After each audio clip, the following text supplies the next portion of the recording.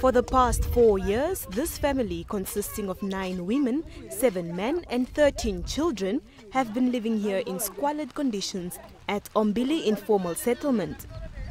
They have nothing to show except for this maize garden and a few chickens. The head of the house, 60 year old Veinja Kasengo, says their only hope is for government to rescue them.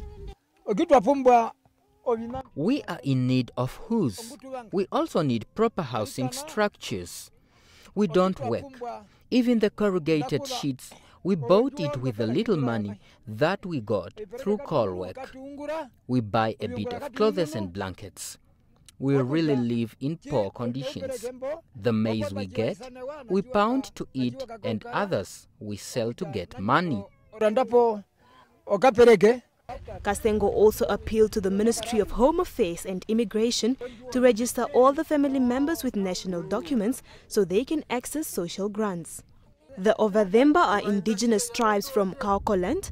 They are semi-nomadic people living as hunters and gatherers and take pride in their traditional ways and cultural attires.